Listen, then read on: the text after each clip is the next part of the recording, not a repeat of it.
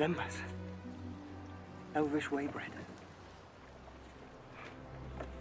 One small bite is enough to fill the stomach of a grown man.